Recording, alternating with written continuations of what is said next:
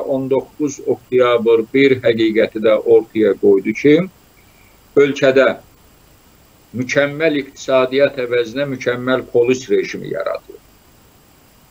E, millətin e, sosial vəziyyətin yaxşılaşdırmaq e, əvəzinə e, hüquq mühafizə orqanları işçilərinin harım bir dəstəsi bəsləndi.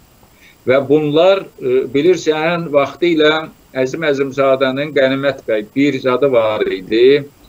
Bir karikaturası var idi 30-cu illərin əvvəllərində. Ya səhv eləmirəmsə 27-ci ildə Çində bu milli hökumət qurulandan sonra o dövrdə Çinə qarşı böyük e, deməli e, Çində vətəndaş müharibəsi başladı və hər tərəfdən əlbəttə bu e, Sovet nəzəriyyəsinə görə imperialist dövlətlər Çinə hücum eləyirdilər və bu Çin fəhləsi karikaturada təsvir edilirdi.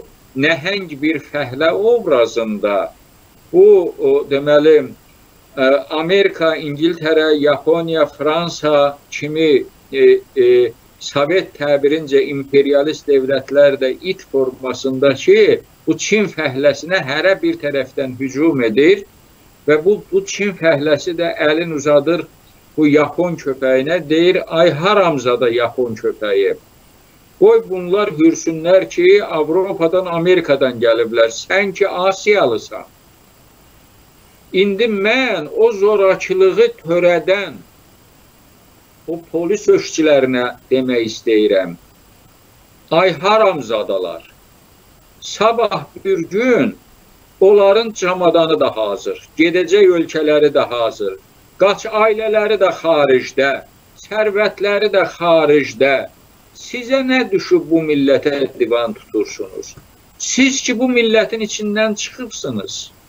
Əlbəttə, bu söz o zorakılığı eləyənlərə aiddir və mən üzümü tutub deyirəm ki, onlar qaçacaqlar. Ay haramzadalar, siz bu dəyənəyi niyə bu millətin başına indirirsiniz?